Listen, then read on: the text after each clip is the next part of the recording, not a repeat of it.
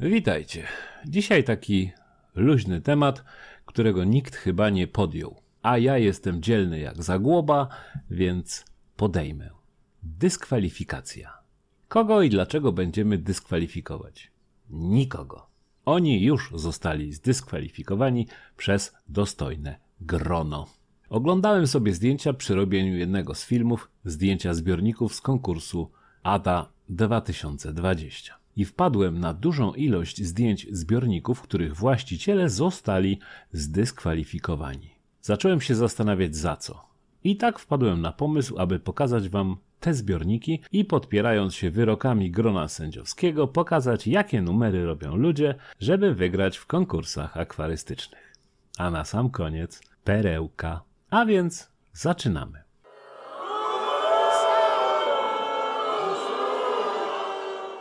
Lung Chun Hin z Hongkongu. Zbiornik 14-litrowy. I co nasz wspaniały akwarysta z Hongkongu postanowił zrobić, żeby wygrać? Niewiele. Może słabo u niego z obsługą programów graficznych. Ano wziął i po prostu w programie sklonował ryby. Miał ich za mało i chciał, żeby było więcej, bo stado brzmi dumnie. Nieładnie, Lung Chung. Nieładnie.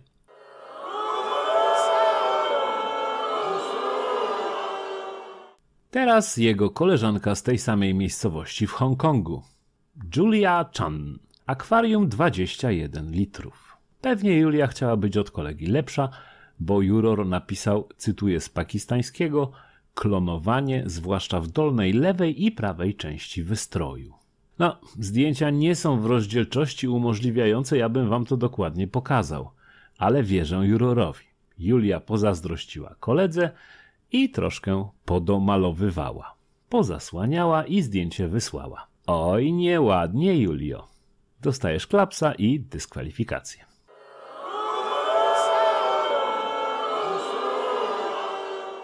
Long Chon Chin w tej kategorii zrobił jeszcze dwa zbiorniki i, zgadnijcie, oba zostały zdyskwalifikowane. Więc w tej kategorii został mistrzem. Trzy dyskwalifikacje i prowadzi w niechlubnym rankingu. A oto jego zbiorniki. 21 litrów i po raz kolejny pięknie sklonowane ryby.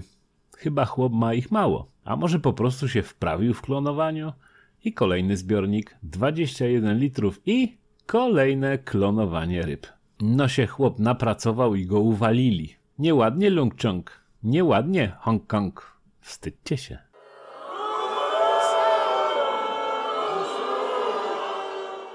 Zmiana kategorii. Teraz większe zbiorniki. 59-litrowy zbiornik przedstawił albo przedstawiła Claire Carvalho di Bois z Brazylii. Nazwała akwarium dla mojego tatusia. Pięknie. Nawet dobre opinie jury, aż tu nagle fachowiec od grafiki zwrócił uwagę, że Claire, załóżmy, że kobieta, postanowiła oczywiście specjalnie dla tatusia dorobić trochę rybek płynących przed korzonkiem. I zamiast nagrody, jep, dyskwalifikacja. Nie wiemy, co na to tatuś. Jego wypowiedź nie została opublikowana.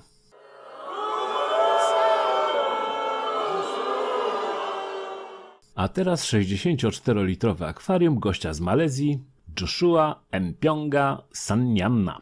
Co nasz Joshua nakombinował? Że został zdyskwalifikowany? A no jak mu się krajobraz w szkiełku nie ułożył do końca tak jak chciał, to go trochę podmalował w programie graficznym. Można? Można. Może Joshua powinien zostać grafikiem, a nie akwarystą? Ale to nie nasza sprawa. Dyskwalifikacja i tydzień bez komputera. A, i szlaban na chipsy.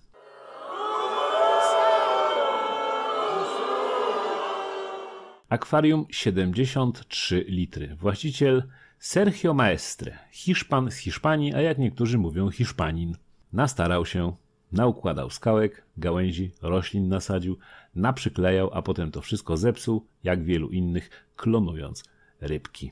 I żeby to było klonowanie w laboratorium. Nie, Sergio nie było stać na laboratorium. To wziął program graficzny. Rybki wyciął, a potem podoklejał. Ech, to podstawowy grzech tych konkursów. Ludzie tak się koncentrują na wystroju zbiornika, że dopiero w trakcie zdjęcia orientują się, że mają tylko jedną rybę. Cóż, klonowanko i dyskwalifikacja.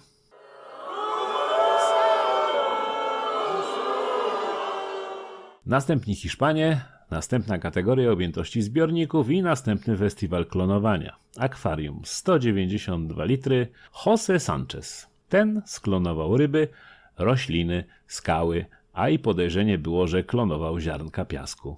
I co? I dyskwalifikacja.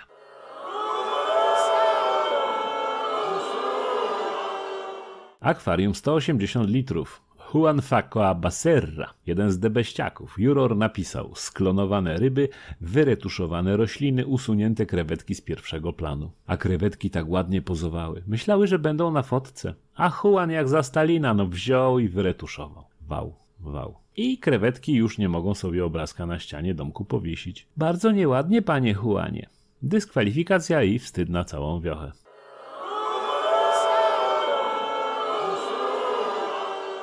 Kolejna kategoria i kolejni Hiszpanie. Nie wiem, co oni mają, że ciągle coś kombinują. No proszę, nawet Jezus. Znaczy Jesus Olier Perez. Jesus Olier Perez. Chyba tak. Akwarium 225 litrów i piękna nazwa zbiornika szepczący strumyk. No cud, miód i orzeszki. Ale się wredny juror dopatrzył, że nasz Jesus sklonował rybki i dokonał wkomponowania sklonowanych. No ale biorąc pod uwagę, że Jezus wskrzesił Łazarza, ale nie tylko, to nasz Jesus ze swoim klonowaniem to przy nim mały pikuś. Dostał dyskwalifikację i komisja wylała mu wodę ze zbiornika.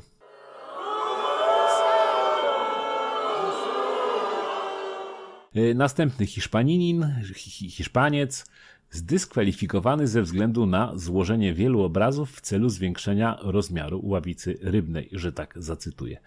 A któż to taki zwiększał rozmiar ławicy? Francesco Jose Paradja Garcia z Walencji. Nie wiadomo, czy to jedyne, co próbował powiększać. Dane nie są pełne. W każdym razie w jego 310-litrowym zbiorniku trzeba było zwiększyć rozmiar ławicy, bo była za mała i naszemu Francesco się nie podobała. O, wierszyk.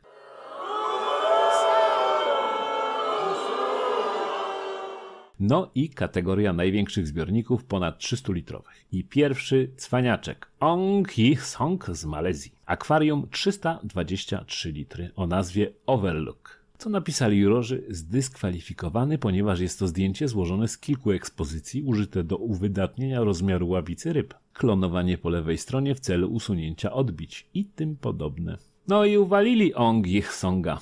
No i kupa. Się chłop napracował, drewna nawalił, a potem jakby mu było mało, pokombinował z grafiką i się nie spodziewał, że się znajdzie ktoś cwańszy, który to zauważy. Ale laserowe oko jurora widzi wszystko. Dyskwalifikacja i nakaz opuszczenia Malezji na kajaku. Tyle.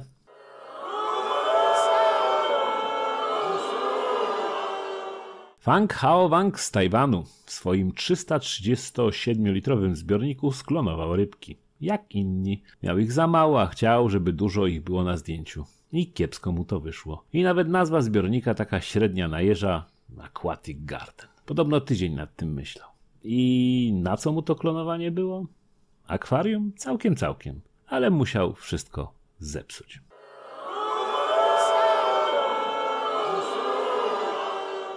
A teraz pierwszy Chińczyk w zestawie dyskwalifikantów. Niestety jego dane zostały zakrzakowane i nie jestem w stanie tego przeczytać. A jak powiem ping-pong, to będzie gadanie, że jestem rasistą. Więc jakiś Chińczyk w 359-litrowym zbiorniku tak sklonował rybki, że nawet ja w okularach to widzę. Więc nic dziwnego, że jury też to zobaczyło.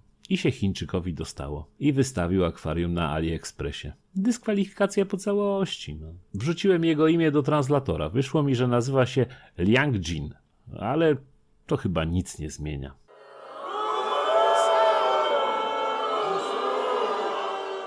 Raul Gargalio to przedostatni uczestnik notowania idiotów próbujących sztucznie podrasować swoje zbiorniki. Pochodzi z Hiszpanii i jest to kolejny Hiszpan z Walencji. Nie wiem, ale tam jest chyba jakieś zagłębie głąbów. Jurorowi już się pisać nawet nie chciało. Jedno słowo. Klonowanie. A ryby, że są powielone, to gołym okiem widać.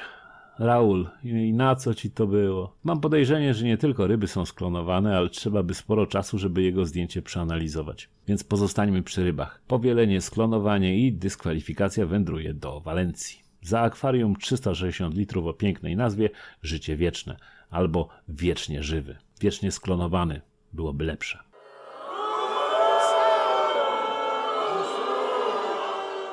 I na sam koniec perełka. Albert Escrihella Caceres. Akwarium 666 litrów. Szatan jeden.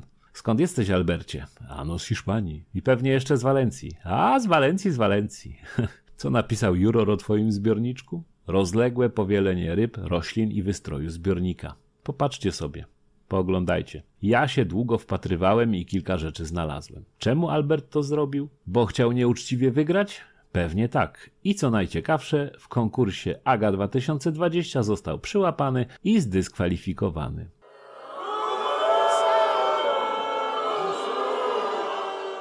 Ale w konkursie przeczytam po polsku IAPLC 2020, czyli The International Aquatic Plants Layout Contest, nasz Albert zajmuje czwarte miejsce. No i teraz powiedzcie, co mam o tym myśleć? Oszust czy wizjoner? Ocencie sami. I na tym kończymy przegląd akwarystycznych oszustów z różnych krajów, próbujących podrasować sztucznie swoje zbiorniki poprzez ingerencję graficzną w zdjęcia akwariów. Pamiętajcie, nie róbcie tego sami w domu. Lepiej z partnerką, partnerem albo gumową. Nie, nie, zaraz, to nie ten film. To dobranoc. Na koniec, już po oficjalnym końcu, podziękowania dla wspierających kanał i dla wszystkich, którzy wspierają finansowo zakup nowej kamery. Bardzo wszystkim dziękuję. Jeśli ktoś chce wesprzeć moją działalność na YouTube albo wspomóc zakup nowego sprzętu, podaję linki pod filmem. Każda pomoc się przyda i jest dla mnie równie cenna bez względu na wysokość wpłaty. Mam nadzieję, że nie znudziłem Was moim filmem i że jeszcze jakiś nowy film będziecie chcieli obejrzeć. Dobranoc i do przyszłego weekendu. A jeśli oglądacie to dwa lata po premierze, to, to nie wiem co powiedzieć.